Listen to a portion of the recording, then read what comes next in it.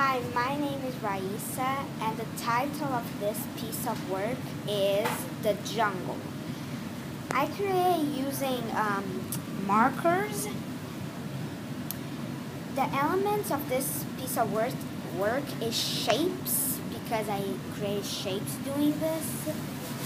And I feel the emotions expressed in this piece is, well, happy because yeah, nature. There's all of like the animals. There's a leopard over there, a parrot, mouse.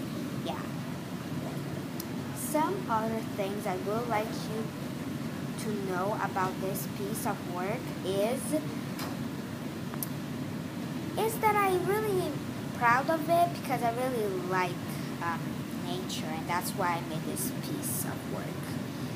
And I see you next time. Bye.